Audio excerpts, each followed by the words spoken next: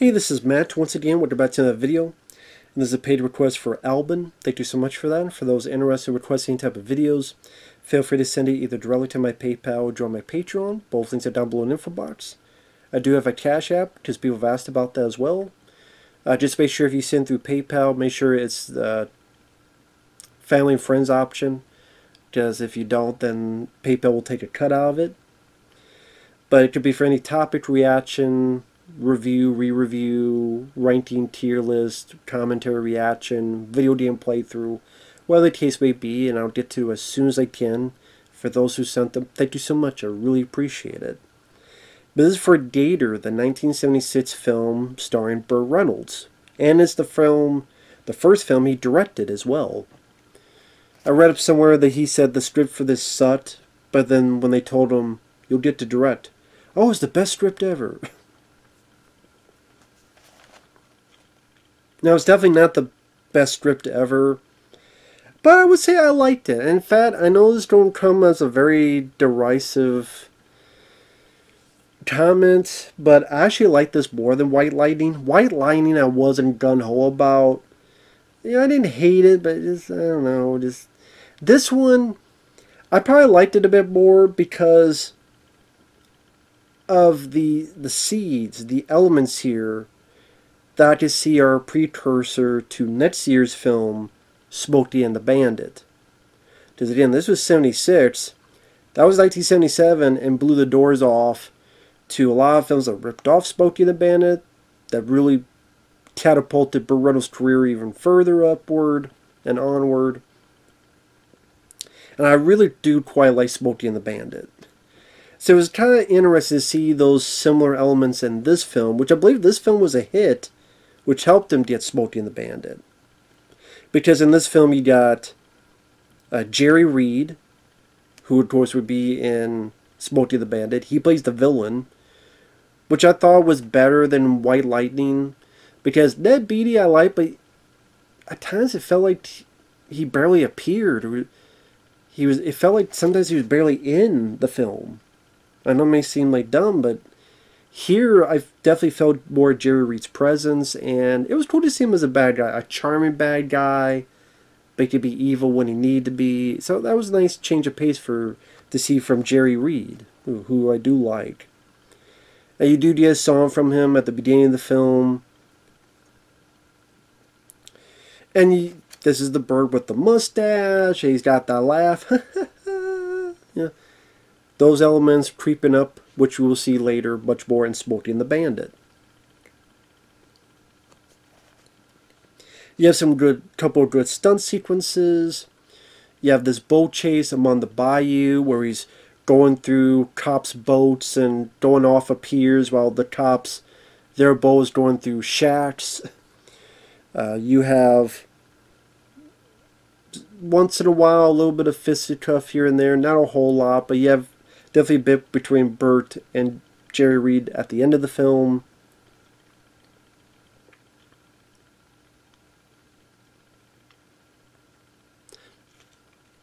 I will say the pacing of it is a bit iffy.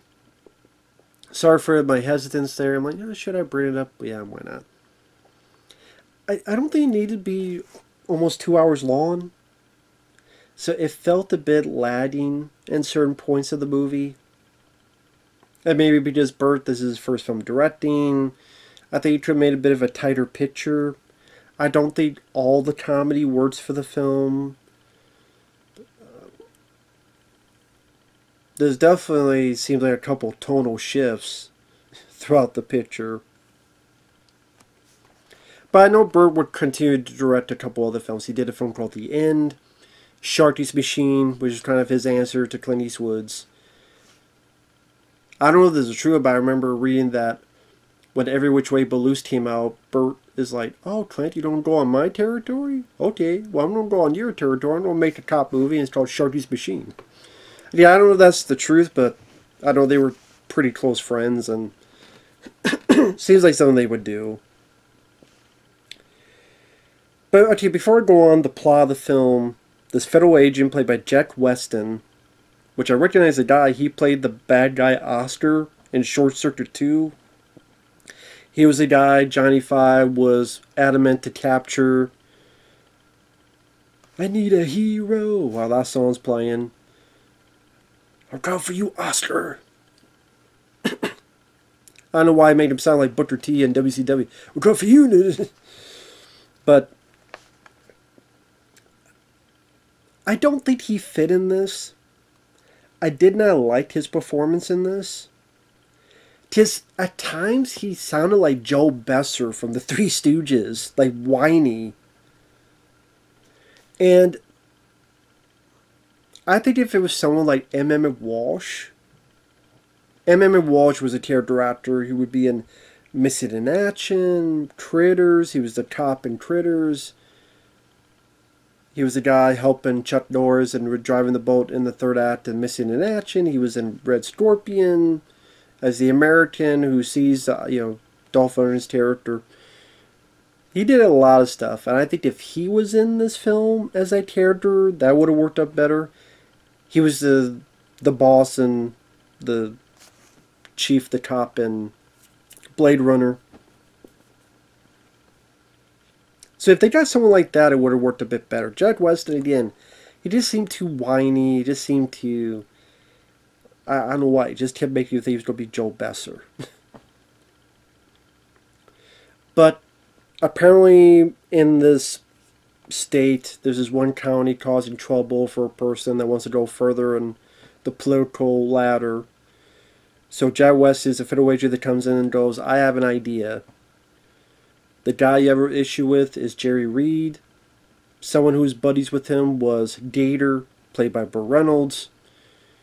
The guy's been to jail twice. If we hook him on something for a third time, he'll cooperate with us. Which honestly, that doesn't even come to play. It's more, if you don't do it, we're going to arrest your dad. So that's why Burt does it after they try to take him, and then he goes on this boat, and again, pretty decent action sequence. Although there are times that this movie's a bit drawn out in certain bits, and that's what I mean by the tighter pacing. Like even during the scene, there are points where the there's one cop going, "Hey, you know where that guy's yet?" No, I haven't seen that guy anywhere around here. Now, what do you think, man? Like they're very talking, very drawn out accents. And that happens from time to time. Like there's a bit where Jerry Reed, who he was a fun villain. He was charming, he's smiling. You know, you see why people would like him, but then he'd have this evil glint where he'd go in this club because he needs collection and, and money. And like the two bouncers, one he's like charming. Oh, hey, you tired, huh? And the guy's like got a glass bottle here.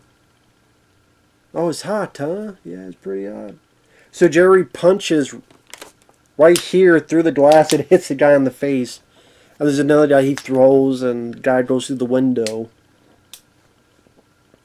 Then he warns the guy and the guy says the wrong thing. Then the next thing you know, the place is on fire. But like that scene, I'll cut to like two cops, which I've never seen them before, We'll never see them again. Just talking. I'm on my lunch break or whatever the hell they said. And then we'll cut to like a place on fire and then some woman just kind of being bored or hmm. And then the scene like transitions to Burt Reynolds and whatever they're doing. So it just felt like a weird edit, like on bits like that. Oh, there's a bit at the end where he's fighting the bad guy, and uh, well, I guess is spoilers. I'll wait to the bit of spoilers, but I try to remember that. But yeah, there's, there's a bit that sometimes shots go on for seems like a bit too long. Maybe just one of those. Yeah, you live and learn. This Is his first time directing? Sometimes we make mistakes like that.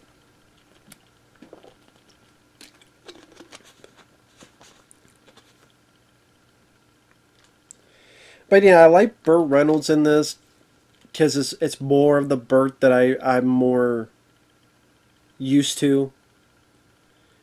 because the Burt Reynolds I think of is Hooper, which is my favorite of his, Smokey and the Bandit. And that Burt is more like the Burt in this compared to White Lightning. Now, I'm sure that's the reason perhaps why people like White Lightning more, but I didn't grow with that era. I didn't grow up with those. Like, the Burt Reynolds I liked and grew up more was similar to this and, and other films. So the way Burt, although I will admit, and this one, Burt at times seems a little bit tired. At times a little bit too low energy. But then some moments he's fine. Like overall I like him in the movie, but Jerry Reed definitely stole the show. I thought he was a very fun bad guy. Like there's a bit where after Burt gets settled and sees his old friend, and the guy takes him around, shows him the ropes. He has his gun. There's like a two barrel gun. What's that for? Well, going to see some blacks. Now, one day they can be real easy. But the next day, they can be real bad. This, make sure they try to take it easy. And there's like a little fight, little action bit, and then he shoots the tires off. And he goes up and he's smiling, Hey, buddy, you got my hundred, five hundred dollars? And the guy's like, Oh, sure, man. Here you go. And they're both like laughing, and it's like you're not quite sure what's going to happen next, but at the same time, is like this weird kind of charm to it. It almost seemed like Burt Reynolds was kind of laughing and smiling, like, yep, I got the take here. this is the take I'm going to use. Or there's another bit where Jerry Reed is talking to Burt, and I thought this was some pretty nice dialogue he says about how everybody out there's a taker. You reach out, you take it, or someone's going to reach out and take you. Like that whole speech he did, I thought it worked well, and I said Jerry Reed, I thought was effective, and Burt, you know, it's his friend, but at the same time, he realizes that what one of the things Jerry Reed is doing is underage prostitution, including girls who are 15, and of course, Burt doesn't condone that, and that's where he realizes, okay, shit's really going south with this guy. Now, I thought a lot more was going to come into play with the whole prostitution angle, but then it's like completely forgotten and not really come to play. I don't know, like maybe those kids Burt would try to help out or try to get one of them to help him out in terms of getting info or getting help or getting some way to get this guy arrested, get some evidence. Nope, none of that ever comes to play. So I thought that was kind of a little bit strange. Oh, yeah, Jerry Reed has this big guy called Bones. I don't know who the actor is. I know he's passed away, but just one of these big guys, like Richard Kiel looking motherfuckers. The way he talks, he talks like this. I don't like what you're saying. He's making me mad.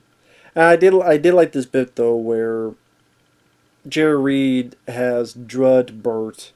The idea being you don't be knocked out, we don't put you in a car, you don't be at the county line. We don't want, I don't want to hurt you, man. You just get out of here. So yeah, you have the bad guy, but he's still there's a part of him that's loyal to his friend to an extent. I did like Burt being drugged and like making fun of like this one guy. Yeah, this one guy called Smiley. I recognize the actor if you remember Back to the Future 3, remember the guy that gave Marty McFly the gun? And he's like, Where'd you learn that? 7 Eleven. The guy who gives him the gun, that's the guy in this movie who plays Smiley. And like Burt goes, Man, God came down and gave you nothing but hiding, gave you nothing but teeth.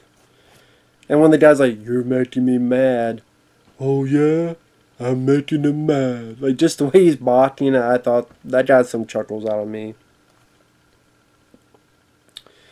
Uh, there, of course, there's a love story, because there's always got to be a love story. This one by, uh, I think Lauren Hutton is her name.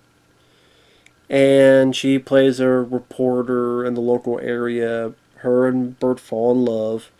Now I thought Lauren Hutton did a decent job. She was a you know capable actress. Had a nice attitude to her. You know, as she puts it, you charm the shirt right off my back as she takes the shirt off. Of course, you're not going to see any nipples and stuff, but it's funny. There's a story I, I heard about Burt Reynolds interviewed about this. He says, "Oh yeah, she's a bit crazy, but you know, I like crazy." And from time to time, I guess Lauren Hutton would flash the crew. Is anyone having a good day? well, how about now? Apparently she did that, so the crew definitely liked her. but, uh, yeah. I'm fine with that. That's a good woman in my book, so I can't say too bad about a woman that's willing to flash a crew and not be canceling people for it. so, she's she's cool in my book. It seemed like her and Burt worked well together. But again, sometimes Burt seemed a bit too, not sedated, but kind of hmm. like he seemed much more amped up and Smokey and the Bandit consistently. I don't know what the deal. Maybe because again you're directing, so because you're directing, doing all this stuff for the first time, then it's just it's a lot more onto yourself. So maybe it's hard to keep that energy. I would assume that was the case. I could be very much wrong. when I said all the comedy doesn't work, okay, there's a bit where they did in these again. This is spoilers from spoilers. They got in these court records, and you have this woman. I know I've seen her in stuff. I cannot remember where though. But I know I've seen her in other movies. She worked for the court records. She got fired. She's a cat lady. But she's like, okay, I'll help you out but I gotta bring my cats. And Burt's like, no, we're not bringing the cats. I gotta bring my cats. Fine, bring the cats. So, like, Burt is holding a cat while the others are too, and having to go into the to get the, the records and already get evidence on Jerry Reed. It's just a very goofy scene that I thought overstayed its welcome, was way too long. The whole cat thing, it's like, okay. I didn't think it was as funny as you guys did.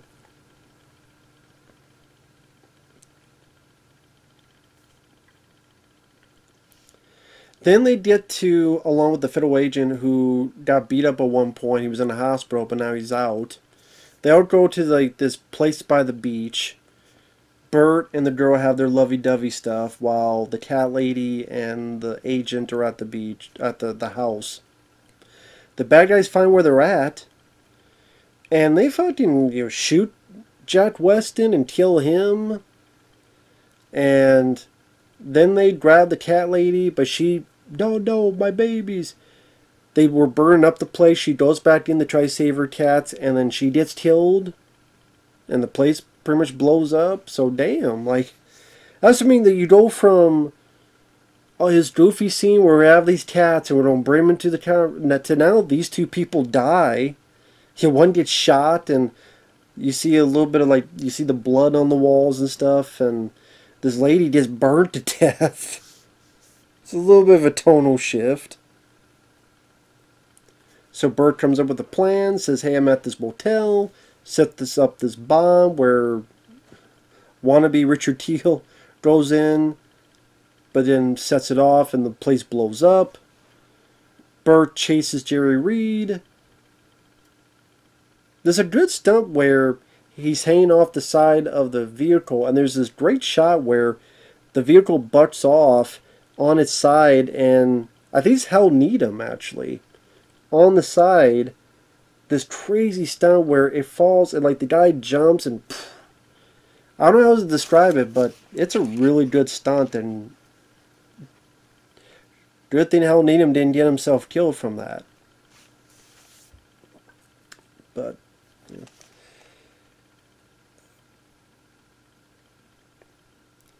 But he, they has a fist fight with Jerry Reed. And this is what I was talking about uh, earlier, where he had called before Burt about the to the authorities, so a helicopter's there. So on the beach is like one of these stands, like uh, food stands that you know are left there until someone comes in to sell food, and has those like sliding door things. So he has Jerry Reed there, and we're like behind him, and we've seen Kurt, not Kurt, Burt. Yeah, Kurt Russell's in this too. We've seen Burt, and we've seen the helicopter. We see Burt here, we see the helicopter here. Like Burt, helicopter, Burt, helicopter. And Jerry Reed's like here, and we see the back of him, he's out of it. So he's like just staying there. Burt, and I get why. He's staying there so the helicopter get closer. He's like,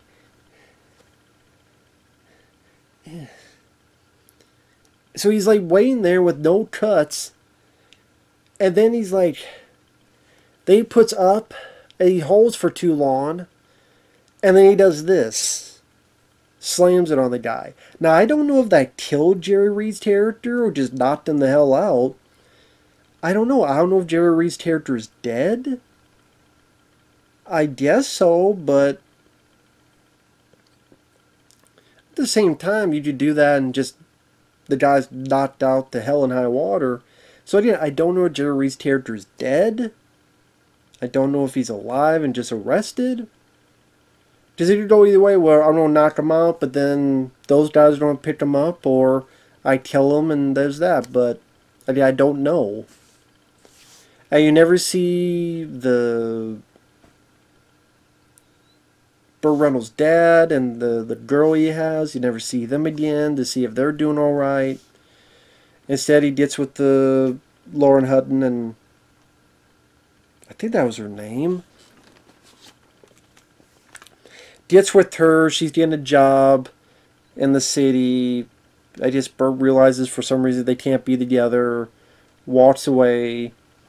They both kind of smile to each other, drives off, and the movie's over. But yeah, the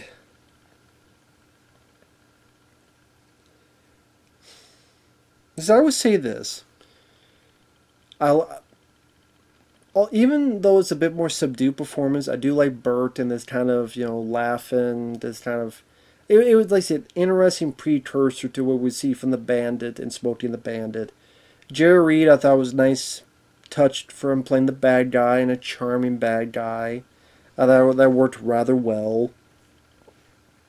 I thought that uh, when the action scenes are there, there's some decent stonework in terms of, again, the, the boat bits in the beginning of the film.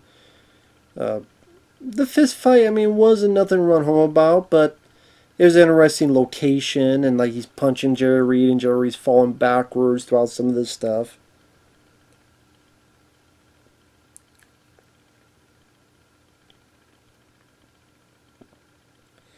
And yeah, I thought that. Uh, I'm trying to think now. The movie could have been tightened up a bit. Not all the the humor works the best. The Jack Weston, I didn't like him. I thought he's, he. I don't think he was the right fit for this character. Yeah, Lauren Hutton. Yep, okay, I was right.